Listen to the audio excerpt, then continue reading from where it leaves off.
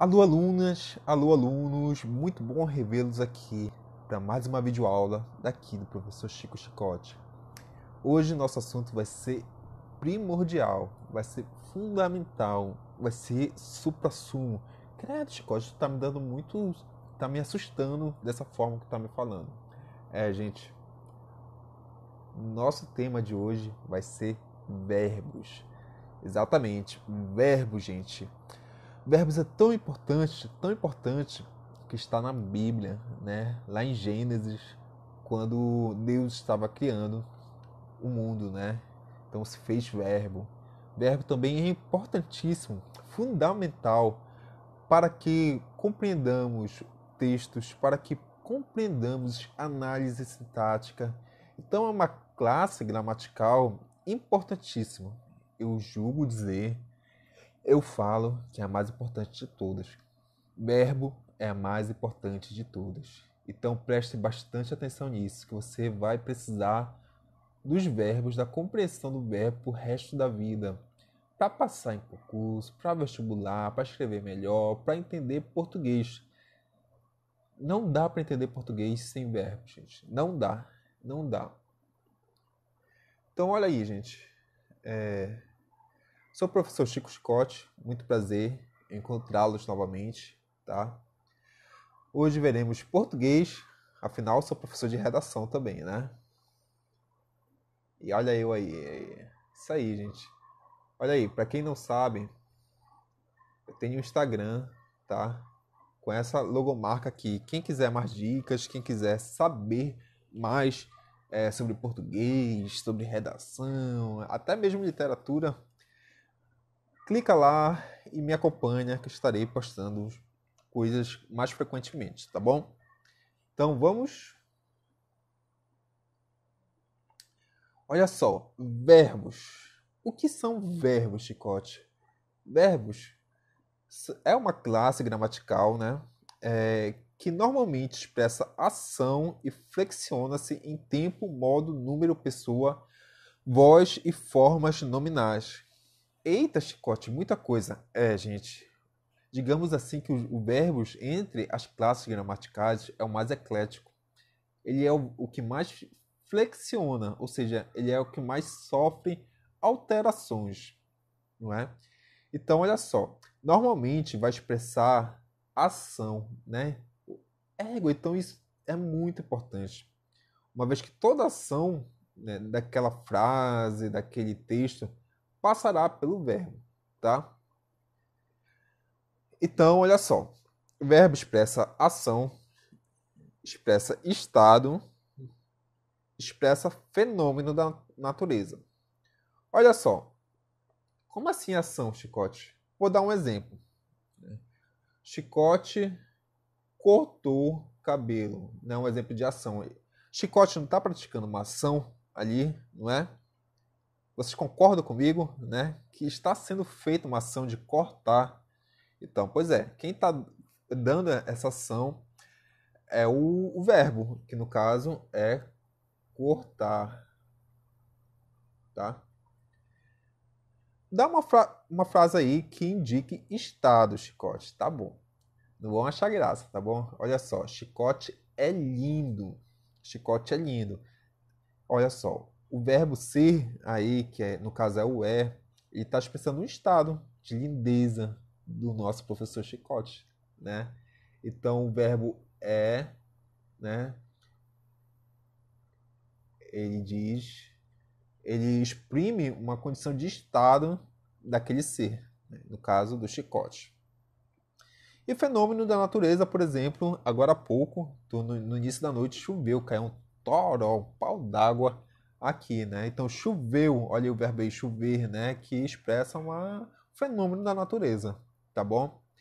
Isso é muito importante, gente, muito importante, extremamente importante ter é, essa, digamos, compreender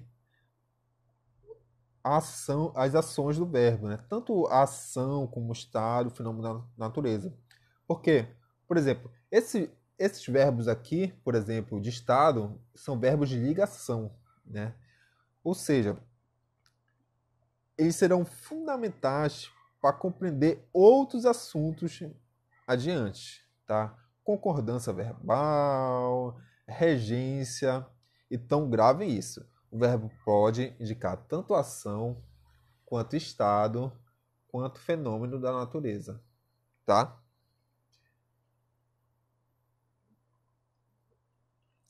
E aí, eu falei agora há pouco que o verbo é um dos que mais flexiona. Olha quem está me atrapalhando aqui. Um, uma das classes gramaticais que mais flexionam, né? E olha só, ele sofre tantas alterações que ele sofre alteração de tempo, de modo, de número, forma nominal, pessoa e voz. Então, todas essas são as categorias que o verbo pode sofrer alterações, né? E vamos ver cada uma, tá bom? Então vamos para flexões, né? O primeiro aí de tempo, né? Então olha só, o verbo ele pode sofrer alterações, ele pode modificar segundo o tempo verbal, tá? Basicamente são três tempos verbais. Presta atenção aqui, ó. O presente, o passado, que aqui no português se chama pretérito, e o futuro, tá bom? Presente, passado, futuro. Só que esses três se subdividem em três, em seis, tá? Por exemplo, aqui tem os seis, ó. Um, dois, três, quatro, cinco, seis. Né? Então são seis tempos verbais. Olha só. O primeiro, eu estudo, né? Que é o presente. Segundo, eu estudei, que é pretérito perfeito, né? É uma ação acabada, que está no passado, pretérito, tá? Eu estudo é no presente, né? Eu estou estudando agora. Eu estudava, pretérito imperfeito, é também no passado, né? A diferença, olha aqui, por exemplo, eu estudei, dá a entender que só estudei uma vez, né?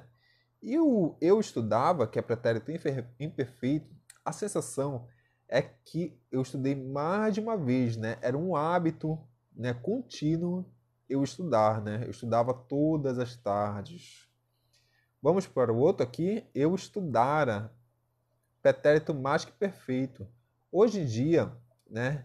A gente diz mais assim, eu tinha estudado. Também é pretérito mais que perfeito, né? É, e esse estudar é mais, é mais assim, digamos, mais culto, tá mais nos livros. Mas se você falar, se você falar, eu tinha estudado, também tá certo, tá bom? E aqui eu estudarei já é o futuro, né? Futuro do presente e eu estudaria, futuro do pretérito, né? Então vamos adiante. Agora flexões do verbo do quesito modo, né? Então, olha só. Há três modos: o indicativo, o subjetivo e o imperativo. O indicativo, ele sempre, né, ele vai Opa, ele sempre vai falar aqui, ele sempre vai trazer uma ideia de ação, de algo que é certeza. Compreendem? Tá? Então, por exemplo, eu estudei, aconteceu essa ação, sabe? É certo, né? Já o subjetivo aqui ele vai trazer, né, um, vai ter um caráter mais de dúvida, de hipótese, de hipótese, algo que pode ou não acontecer, né? Posso falar, ah, se eu estudasse, se eu pegasse, vocês percebam que tem uma certa incerteza, né? Então, essa aqui, bora colocar incerteza. Ixi, tá ruim de escrever aqui. Aqui o indicativo já é certeza, tá? Imperativo, chicote. Imperativo já é aquela ordem, né? Quando eu falo lá na sala para vocês, fulano, estuda agora, né? Eu estou mandando, estou ordenando, né? Olha aí, o imperativo, não vem de imperador, né? Então vai ordenar algo, tá bom? Então o imperativo é ordem. Então vamos recapitular. O indicativo é certeza, é uma ação que está ali concretizada, né? que está, é, que vai acontecer realmente.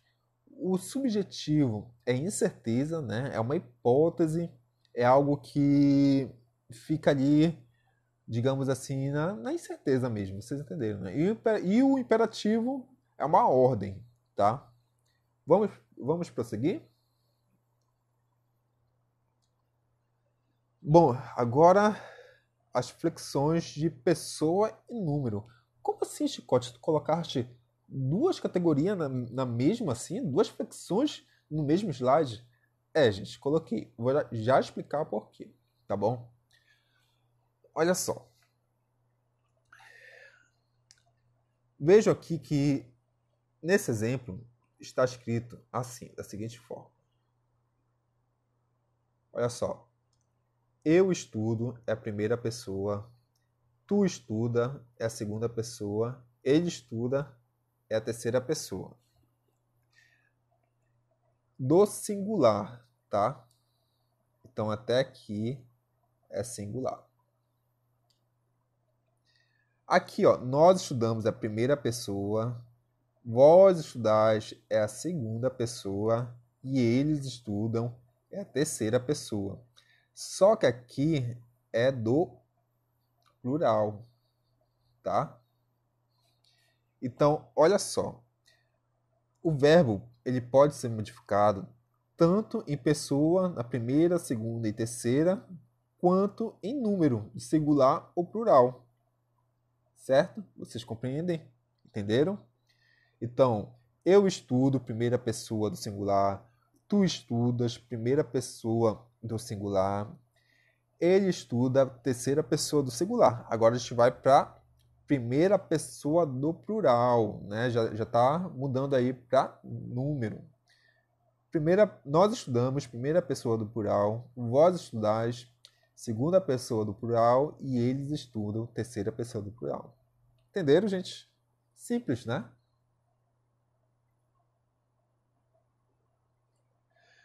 Tá, e o verbo pode modificar também segundo a sua voz, tá? Há uma aula especificamente para isso, que será no oitavo ano, tá? Ano que vem vocês vão estudar só voz verbal. Mas eu vou adiantar algumas coisas aqui para vocês, tá? Imagina só essas três frases, né? Vamos ver a primeira aqui. Chicote comprou uma casa. Vejam que aqui o sujeito chicote, opa, sujeito chicote, ele está praticando uma ação, tá? Que está exposta aqui pelo verbo. Uma ação de comprar uma casa, né? Então é uma ação sobre a casa, tá? Chicote comprou uma casa. Então essa voz onde o sujeito pratica uma ação é a voz ativa, tá?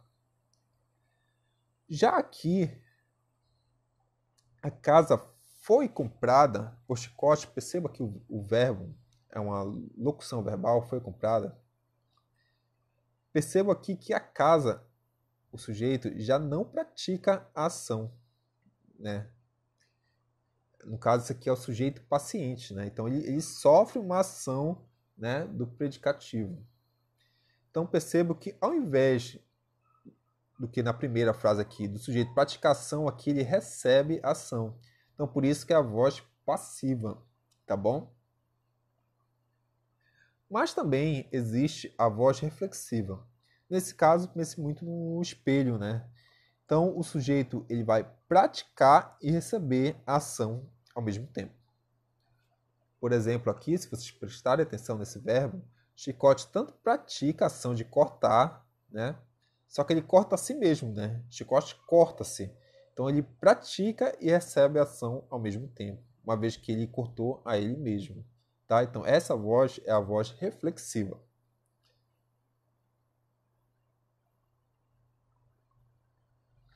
E, para finalizar aqui, né, nesse primeiro momento de estudo do verbo, existem, existem as formas nominais, né? que no caso é infinitivo, que sempre é terminado em R, como estudar, comer, dormir, o participo, particípio, que sempre é terminado em ADO e IDO, né? ADO, IDO, né? Estudado, comido, dormido. E o gerúndio, que é o NDO, estudando, comendo, dormindo. Então, infinitivo terminado em ar, estudar, comer, dormir. Particípio terminado em ado ou ido, né? estudado, comido. E o gerúndio em NDO, estudando, comendo, dormindo. Tá bom? Percebo aqui, ó, no infinitivo, não existe aqui, ó, estudar, um azinho aqui, comer aqui e dormir. Vocês estão prestando atenção nisso? Pois é. Essas são as conjugações do verbo. Existem três, tá? Então, existe a conjugação que é o A, né? O AR, o ER, o I e o IR, né? Estudar, comer e dormir. Tá bom? Bom, gente, isso aqui foi o início dos estudos do verbo, né? Essa classe gramatical importantíssima. Espero que vocês tenham compreendido. Voltem o vídeo, revejam, tá bom? Que é muito importante mesmo. Olha só, se vocês tiverem dúvidas, esse aqui é meu WhatsApp profissional, tá? Estou disponível no horário comercial, né? no caso aqui é de manhã ou de tarde, para tirar dúvida. Para terminar, quero que vocês peguem o livro de vocês aí na página 51, tá? Análise linguística, revisando os verbos. Aí em cima existe um texto, né, dentro de um quadradinho azul. Bem aqui assim. Não sei se dá para vocês verem. Eu vou ler esse texto, tá? Foi a coisa mais bacana a primeira vez que as formigas conversaram com ele. Foi aquele escapuliu da procissão que conversou. Ele estava olhando para ver aonde que ela ia. E aí ela falou para ele, não contar para o padre que ela tinha escapulido. O padre, ele já tinha visto que era um formigão da frente, o maior de todos, andando posudo. Então percebo, percebo que aqui há algumas palavras em negrito, né? E essas palavras são verbos, tá? Percebo que a maioria delas estão conjugadas no mesmo tempo verbal, né? Que é o pretérito. Pretérito perfeito, tá? Então aqui no livro há uma pequena introdução falando o que, é, o que são verbos, né? Que expressam ação, falando também que as várias é, flexões do verbo, né, os modos verbais. Então, eu aconselho que vocês leiam um pouquinho, porque ele vai falar tudo que eu falei aqui para vocês, tá bom? Por que eu estou falando no livro, Scott? Porque eu quero que vocês façam a atividade da página 54, tá? Próxima aula eu vou resolver essa atividade. Então, página 54, façam essa atividade, tá bom?